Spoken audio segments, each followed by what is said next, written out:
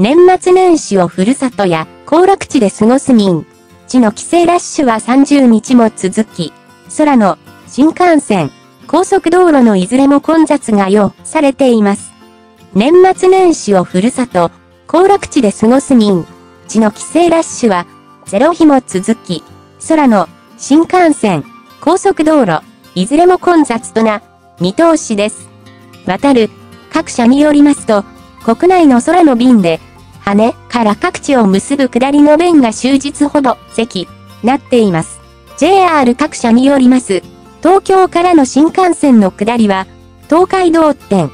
洋新幹線の博多行きの、のぞみの指定、や東北、北海道新幹線や秋田、山形の各、幹線も終日満席になるなど、各新幹線で、区の列車で混雑するということです。一方、高速道路の下り線でも混雑が始まっていて、日本道路交通情報センターによますと、午前7時半現在、関越自動車道、埼玉県の高坂サービスエリア付近で15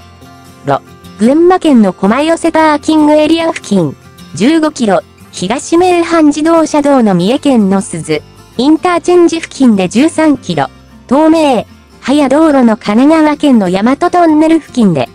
1キロの渋滞となっています。高速道路車によりますと、午前11時頃には中、自動車道で兵庫県の宝塚東トンネル付近、15キロの渋滞が予想されています。